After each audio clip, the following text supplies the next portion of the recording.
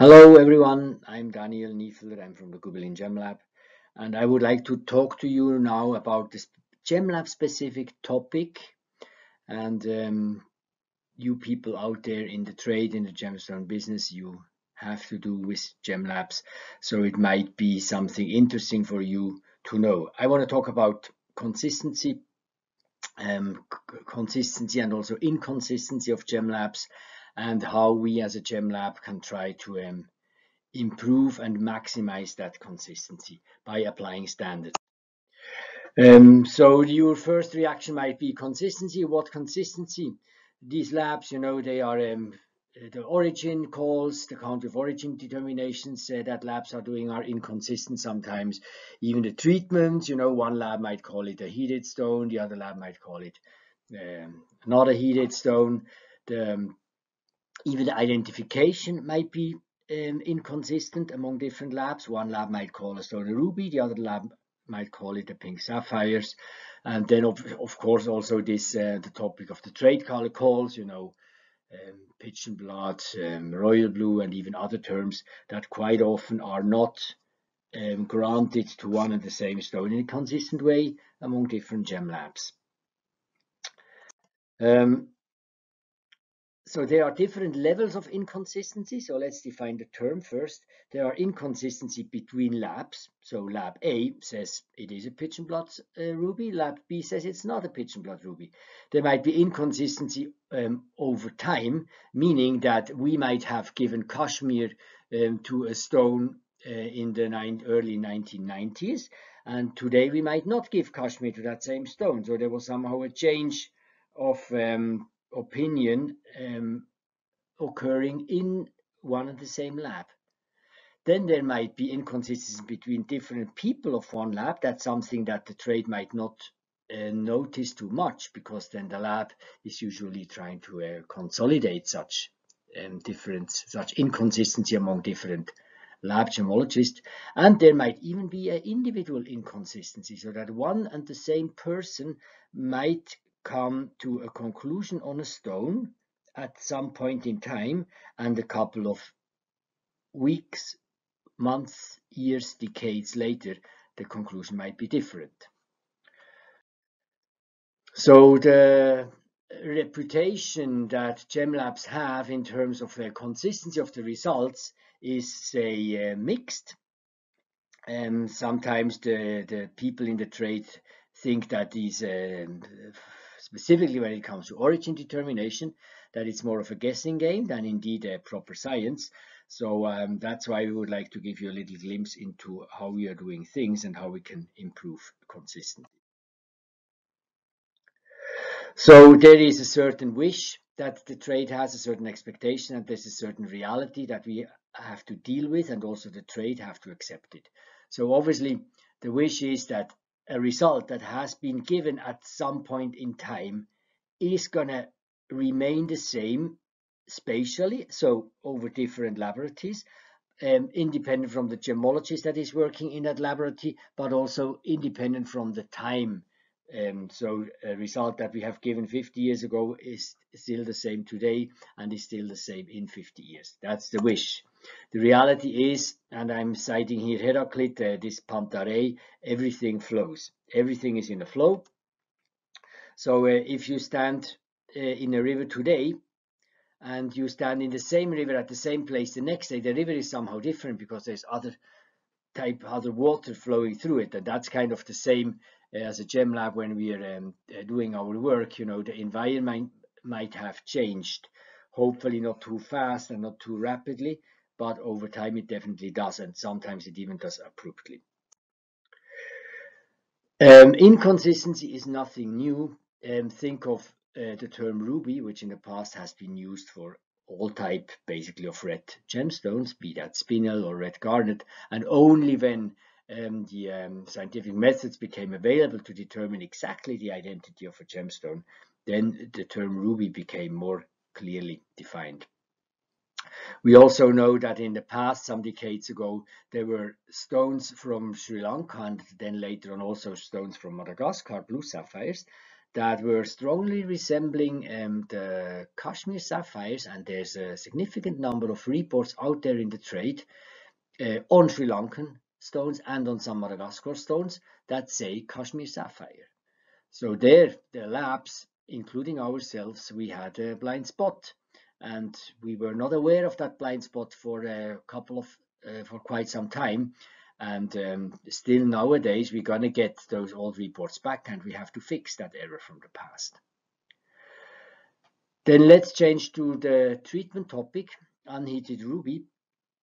Um, within a couple of years, or say within 10, 15 years, the threshold to call a stone or a ruby specifically heated has been lowered and this lowering of the threshold has been uh, caused by the development of more and more sophisticated methods to heat a stone to um, induce a bettering of the color without affecting the, the stone overall too much. So specifically not by affecting the inclusions so uh, once GemLabs became aware of that they also had to kind of uh, beef up their uh, analytics and study the stones more carefully. And um, stones that got uh, no heat treatment call some 20 years ago nowadays might get a heat treatment call because there are these specific low temperature heat treatment methods that are applied more and more. Paraíba tourmaline is another example. You know, Paraíba was a term that is, it was initially coined based on the region in Brazil where these um, uh, nice blue tourmalines were found. And um, then it developed into a into a trade term specifying the color um, and then once the Mozambican and then later on the Nigerian um, Paraíba type tourmalines appeared on the market the the common sense in the trade was that they should also be called Paraíba tourmalines because it is rather um, determining or de describing a color than only an origin. And then that's also what the lab were, labs were following. There's other sources of inconsistencies. Uh, think of the many type of gemstones that are usually treated, you know, such as rubellite, which the majority of the rubellites gets irradiated, aquamarine, Paraíba tourmaline that are mostly heated. Um, but quite many of these treatments, they cannot even be detected. So um, that's basically a blind spot that the gem labs at least are aware of, but it's not something we can do about much. So one day, if we're going to have a way to um, an affordable way to determine if these stones are treated or not, then that's going to be another wave of inconsistency by gem labs having to contradict their results from the past. And it's quite possible that as we speak today, we might miss out on something and creating faulty reports, which we only might learn in a couple of months or a couple of years only about. So that's somehow a reality of the business that we are in, and we try to deal it as good as possible. So the reasons, you know, to continue is that what are the reasons that inconsistencies occur is, of course, new mines that are um, coming up and new mines obviously producing new material that so far was unknown and that might overlap with um, material from uh, the, gemological properties might overlap with material from known mines. But also the old mines the well-known mines they might produce um, material that is different from the material that was already described in the past and in the literature then um, we have in our business uh, a lot of very innovative people. They are finding smart ways, good ways to improve um, the color, the clarity of the of gemstones that might be of the not perfect quality. And not everybody is kind of open or or not open from the very beginning and kind of might want to make profit from the gem labs not noticing that a stone has been subjected to some kind of treatment.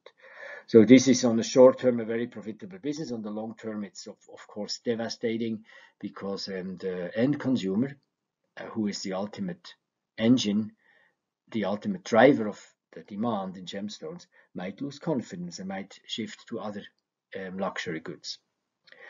Then um, also development of analytical tools, analytical methods might kind of be a reason for inconsistency. So that nowadays we might find more details, more insight. We can scrutinize the stones more, and then the data that we can collect can lead to different um, different results. That goes hand in hand with the development of knowledge. You know, there are plenty of people out there, institutes that are doing scientific research, and some of the knowledge that they are doing, we are doing, and are sharing with each other might lead to different interpretations.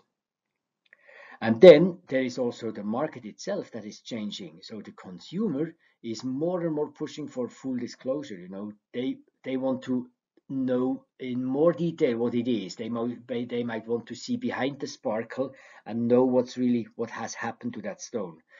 Um, we also feel a certain demand um, with, quality grading. So far, there is no globally accepted quality grading for colored gemstones. So that implies color grading, of course. And then there are other other um, uh, trends in the market, such such as the trend for uh, sustainability, and um, certain ethical standards, environmental standards that are maintained. So that is also creating new realities, a new environment to which also gem labs ultimately have to adapt. So this is the reality, the environment that we are that we find ourselves in.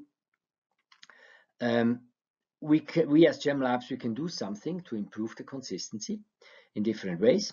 These are five uh, points that I have put together. The first one is to build and maintain a common knowledge base. Secondly, we have to get the most out of the stones, so analyze better and deeper. Third point we is the standardization. The fourth point is um, define lab principles along which uh, you want to work. And the fifth one is to uh, also impose certain standards of wording to make them understood, understandable, and also to make them um, clear and honest. So the first first important point to um, that we have to tackle is to build and maintain a common knowledge base. So there's um, in a gem lab you have a lot of knowledge in the heads of the people you know. They are usually very experienced gemologists. They have seen thousands ten thousands of stones. They have traveled the world. They have um, very um, comprehensive knowledge. And but this individual knowledge that you might have in people you have to translate into formalized knowledge and that's not exactly easy. So you have to um, you have to um, develop manuals. You have to de develop databases. You also have to make publications so that they get your knowledge gets peer reviewed. That's the first part of that first step. Then the reference collection. You know, the, the our the work that we are doing as a gem lab is um, is a forensic by nature. So we basically take the unknown stone from the client, we look at its properties and we compare this pattern of properties with the patterns of the prop with the patterns of the um, known stones that we have in our uh, reference collection. So regardless whether we do identification only, whether we do treatment detection, whether we do um, country of origin determination, we need to have all the, the, the, full spectrum of stones that a stone possibly could be. So we have to have the natural ones, the synthetic ones, we have to have all type of treatments and obviously untreated ones, and we have to have samples from each commercially relevant deposit in the world of that type of stems, gemstones. So quite a big job that one has to do.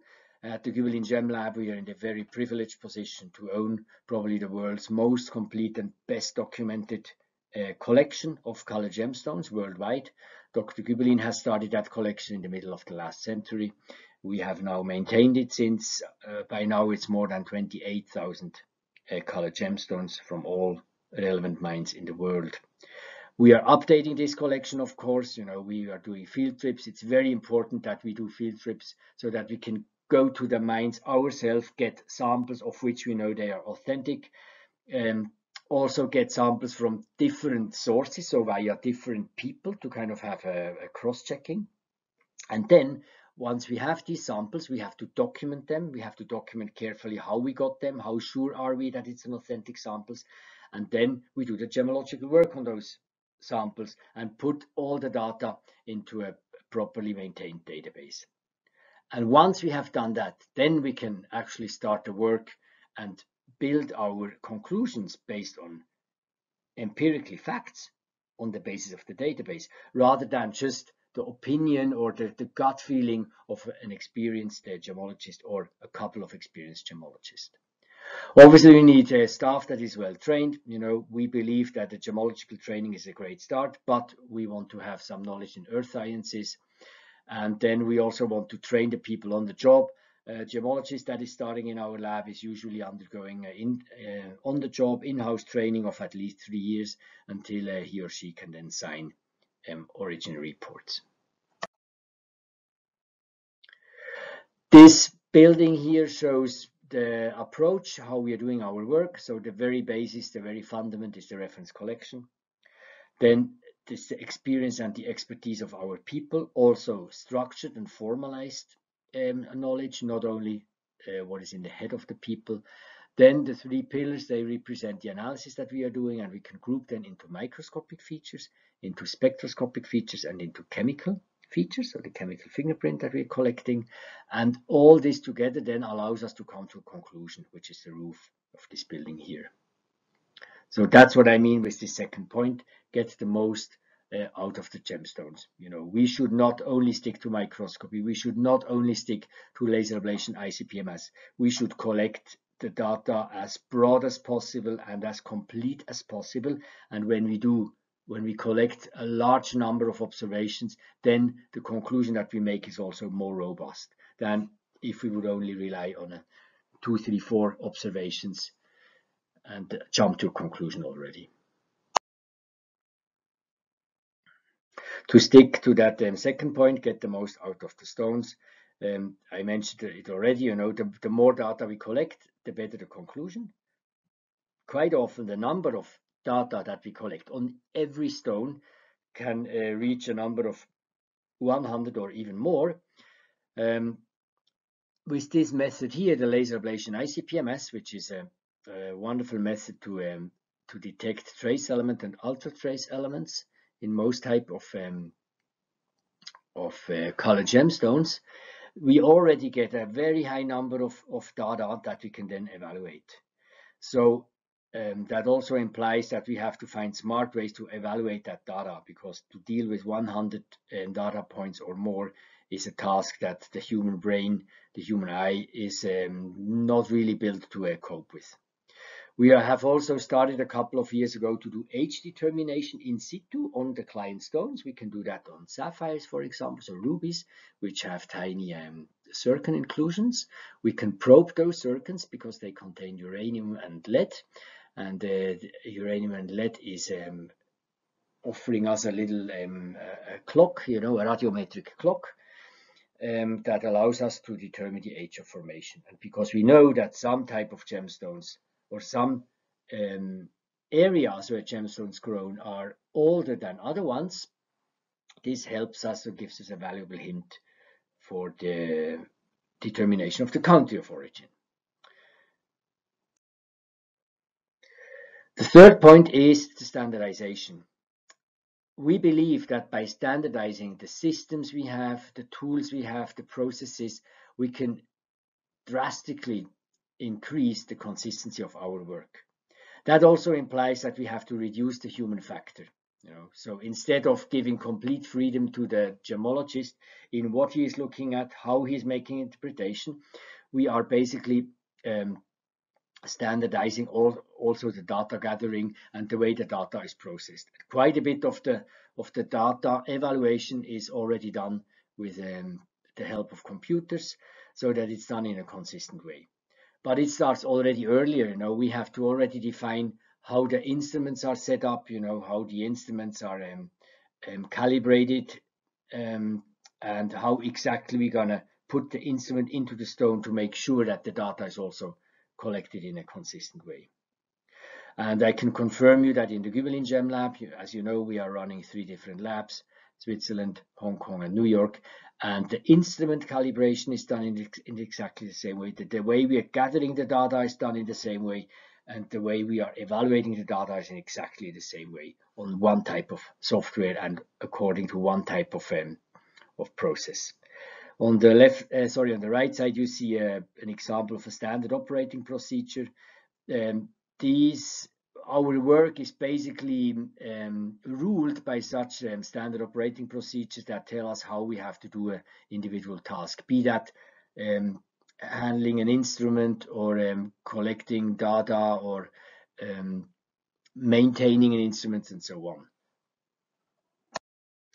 I would like to give you an example of a term that is um, very well known in the industry, in the trade, and that's the term pigeon blood red. Pigeon blood red is a uh, uh, the term was coined um, for the rubies from Burma and the rubies that have a very high quality, that have a specific color, and that have um, that are obviously very rare. Um, the, this term has kind of uh, developed also into a brand and that brand has many famous brands you know they ask for a premium price. So the trade is very keen to get uh, rubies that have this term or to have reports that show that term. Um, so there's a lot of pressure also towards the labs and um, we believe that as a gem lab uh, we also have a responsibility that we are doing um, assigning that term pigeon blood red to the rubies in a in a consistent way. So we have um, many, many years ago, more than 10 years ago, defined a set of quite um, stringent criteria. We also try to be consistent not only among or within the Gubelin Gem Lab, but we were um, a couple of years ago also um, enlarging that circle and we have, uh, have been sitting together with the SSEF, the Swiss Gemmological Institute, because we felt that somehow they are applying kind of a similar standard.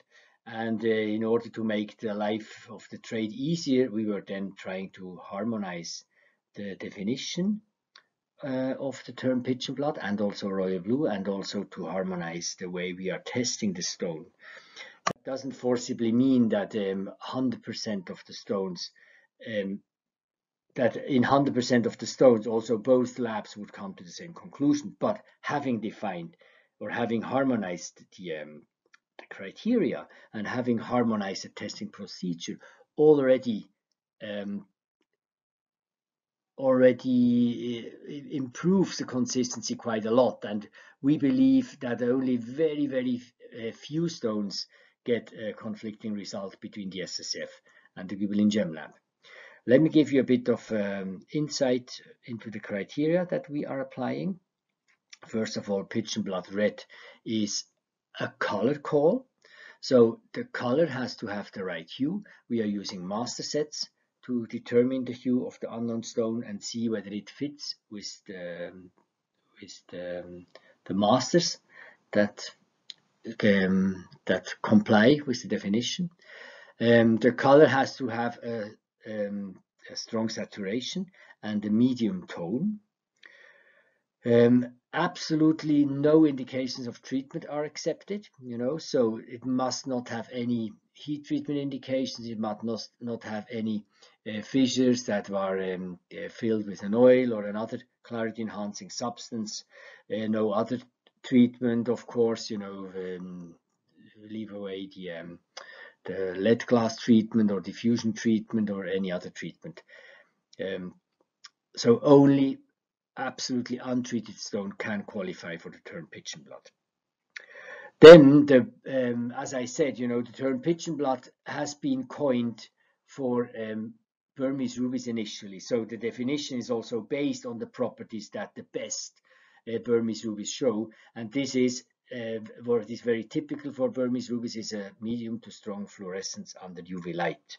So that's what we want to see also for um, uh, that that we would expect expect to see from a pigeon blood wannabe ruby from any origin in the world.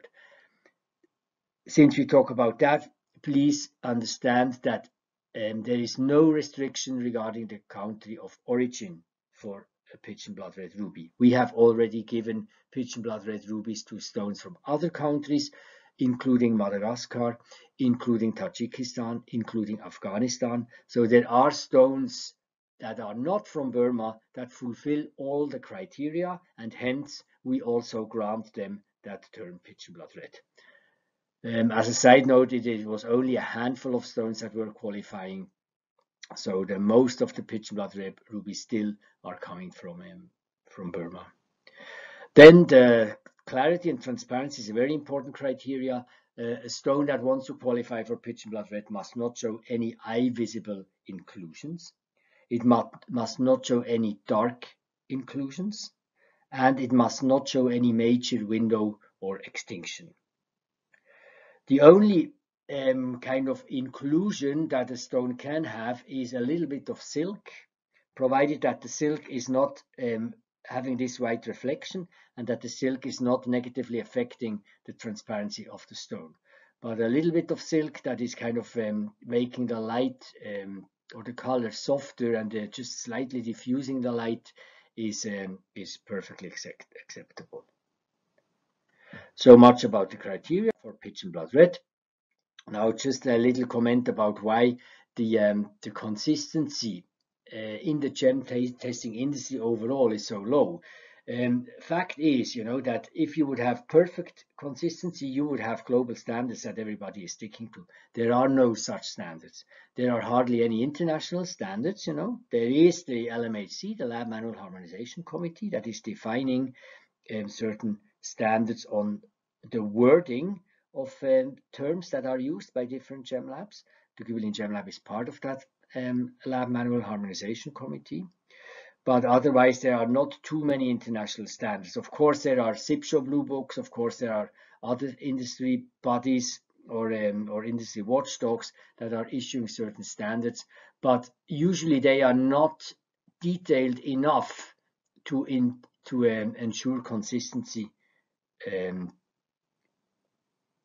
ensure in a consistency down to the level of the of detail that labs are working with. National standards might be in place, but of course not in in um, in, in all the countries. Switzerland, as far as I know, has no national standards defined on how to uh, apply um, uh, terms um, in, the, in, the gemstone area. And then there are lab standards. You know, obviously, we in the Gubelin lab we have a lot of um, lab standards that we are applying, uh, so with that at least we can kind of improve in the consistency within uh, the Gubelin Gem Lab but the relative absence of standards higher up, you know, national, international, and global, um, tells us also a bit or gives us a bit of an explanation why the consistency is not as good as it could be. Let me go to my fourth point, ensure compliance with lab principles. As I said in my previous slide, you know, a GEM lab should define certain standards, should also define certain working principles that goes somehow into ethics as well.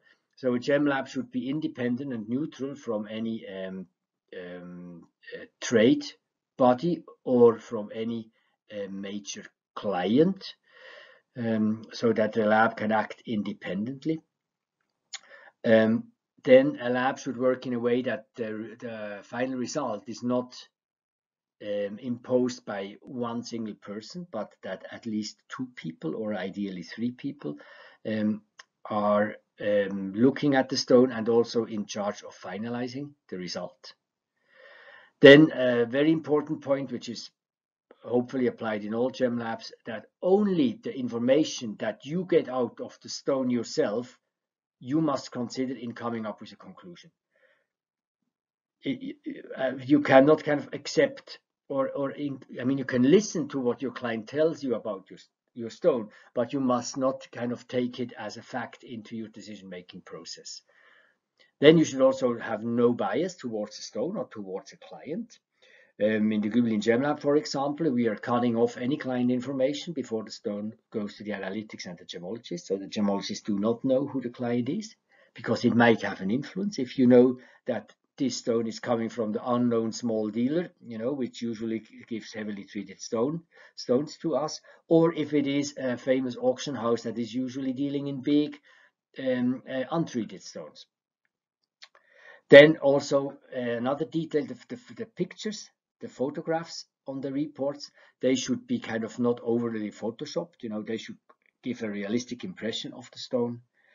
And then um, when there is, um, when the client is exerting some kind of pressure to you to get a certain result, if the client is kind of, um, you know, offering better business, more business to you, then you should resist that um, pressure and resist that uh, temptation and just stick to your standards. Although you a part of your um, revenue might fall away, still in the long run, uh, the only the, the most important asset you're having as a gem lab is your reputation. And you might not you do not want to risk that reputation for a few extra dollars here and there.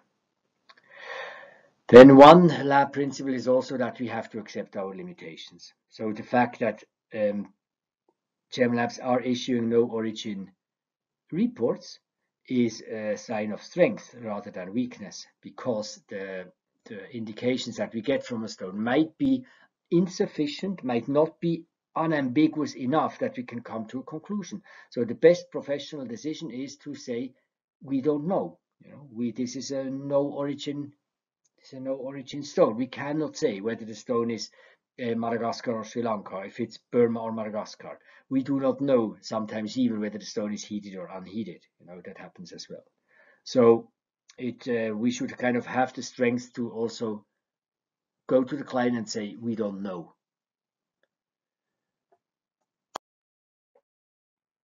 my last point is wording you know and there are different trends you know the gem lab wants to have a wording that is scientifically correct you know many people in the gem labs are scientists and they uh, really like to have the very accurate very um, correct wording. The trade they want to have a wording that is um, um, kind of pleasing the stone or that is um, you know um, giving a, a, wording that is helps the trader selling the stone to a very good price. So that might be already a bit conflicting with what the lab is saying uh, the trade might also be tempted to maybe not say certain things which might not um, look too good to the end consumer or to his direct client the final customer, however, he wants to have a wording that is transparent and complete, but also understandable. So gem labs might have a tendency to be, to be too complex.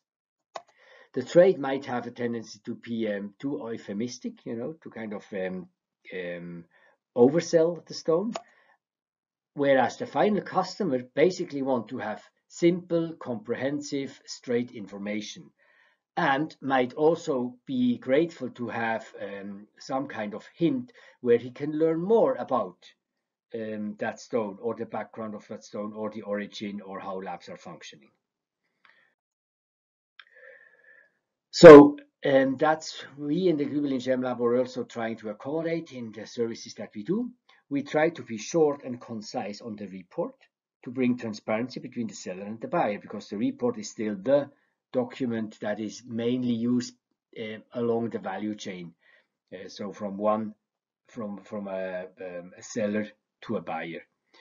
Whereas the end consumer might need a bit more than just a short and concise info uh, on the gemological report. The end consumer might want to have some additional documenting, um, informing a bit about, um, you know, what, what does it mean, a heated stone? What does it mean that this stone is coming from Madagascar to explain a bit the somehow cryptic information on the report and also then maybe be a bit more um, broad and a bit, bit more explicit. So after having gone through these five points, I want to come to the conclusion.